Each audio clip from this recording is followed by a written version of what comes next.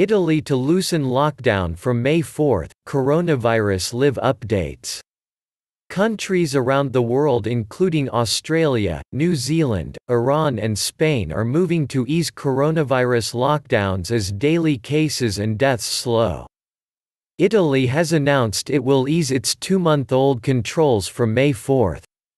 Worldwide, the number of people confirmed to have the coronavirus has risen to more than 2.97 million and 206,402 have died, according to data compiled by Johns Hopkins University. Some 864,000 people have recovered. South Korea investigating how patients get coronavirus again. South Korea's made great strides in tackling the coronavirus with daily cases now well below 20, but it has also found people who were thought to have been cleared of the virus getting it again. Finding out whether it is reinfection or reactivation could be crucial for efforts to develop a vaccine. Here's the story from Kelly Kasulis in Seoul. New Zealanders prepare to emerge from strict lockdown. New Zealand was preparing on Monday to emerge from a month-long lockdown that was among the world's most strict. The country will move from level 4 restrictions to level 3 at midnight 12 o'clock Greenwich Mean Time. The parliament and courts will reopen, and about 400,000 people are expected to return to work under strict conditions. Some children will also be able to go to school. Delivery services, suspended under Level 4 will also resume. Osaka 2 name and shame pachinko parlors that continue to open.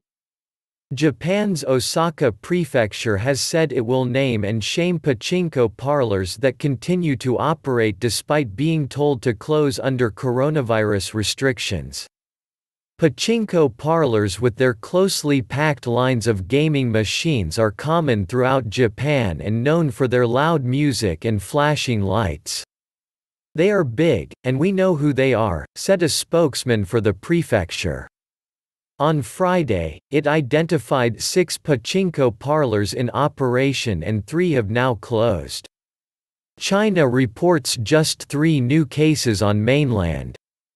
China's National Health Commission said on Monday the mainland had confirmed just three new cases of coronavirus and no new deaths. Of the new cases, two were among people returned from overseas, while the other was in the northern province of Heilongjiang bordering Russia. Australians rush to download tracing app, Gov popularity surges. Some 1.3 million Australians have downloaded the government's COVID Safe Tracing app since it was launched on Sunday.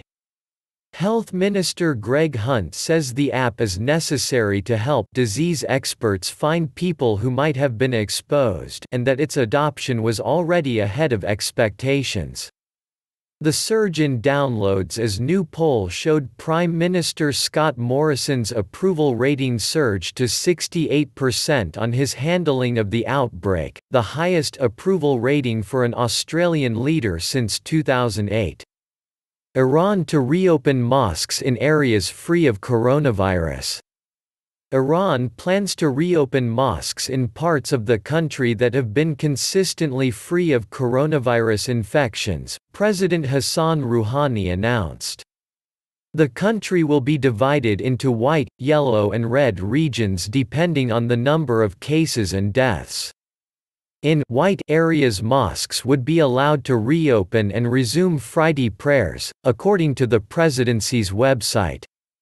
Italy's Conte announces lockdown easing from May 4. Italy's Prime Minister Giuseppe Conte has announced the second phase of Italy's lockdown will begin from May 4. Under the plans, bars and restaurants will be able to provide takeaway as well as delivery, and people will be allowed to move around their own regions, but not beyond. Factories and construction sites will also be able to resume work, providing they respected social distancing and other health protocols. We expect a very complex challenge, Conte said. We will live within the virus and we will have to adopt every precaution possible. Museums and galleries can reopen from May 18 when sports teams will also be allowed to resume group training. Trump rejects reports he plans to fire health secretary. U.S. President Donald Trump has rejected, in a tweet, reports that he plans to fire Secretary of Health and Human Services Alex Azar. Trump described the reports as fake news and said Azar was doing an excellent job.